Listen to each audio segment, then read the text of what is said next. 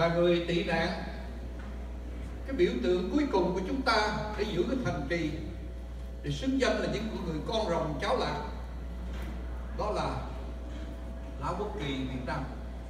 Cuối cùng của chúng ta trên bước đường di tản. Vậy thì hãy cùng nhau nghiêm chỉnh để làm lễ chào quốc kỳ. Và trước nhất, chúng tôi, vì chúng ta là những người sống hết sức tạm dung nước Mỹ đã cưu mang chúng ta. Vì vậy lễ chào quốc ca Hoa Kỳ. Đầu tiên. Lễ chào quốc kỳ bắt đầu. Quốc ca Mỹ.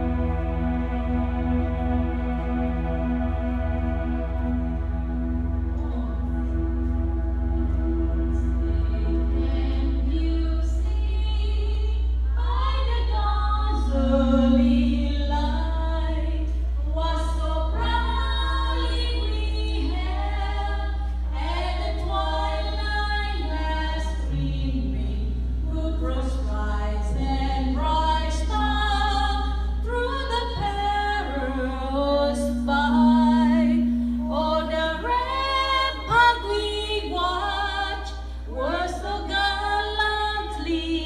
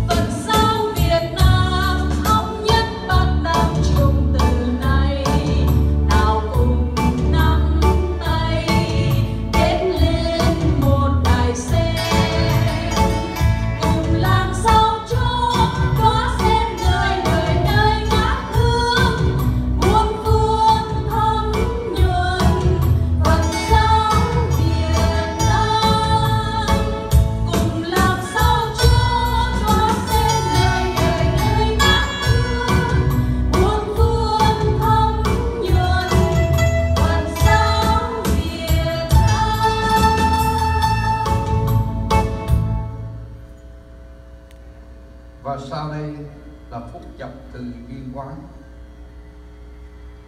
Những trái tim hồng trải lòng vì đạo, công đức tiền nhân niềm nhớ khôn vui trên bước đường vạn lý ngược xuôi, đồng thương cảm hướng về quốc thổ.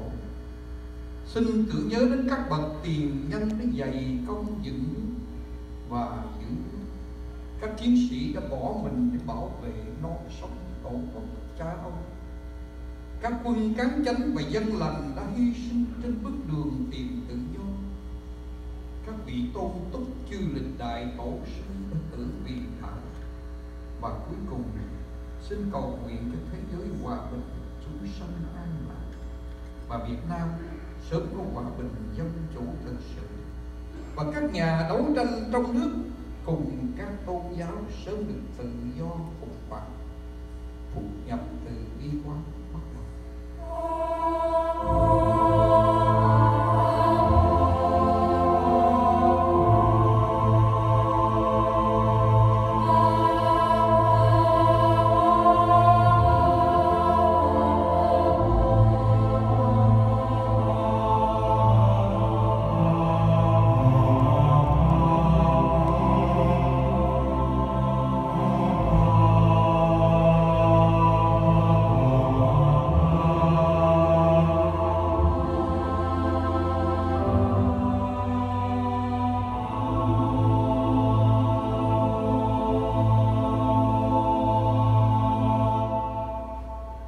Phần chào cờ đến đây chấp dứt.